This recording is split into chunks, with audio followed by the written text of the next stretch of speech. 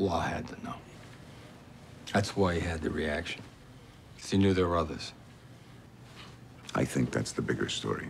But The numbers clearly indicate that there were senior clergy involved. That's all they do.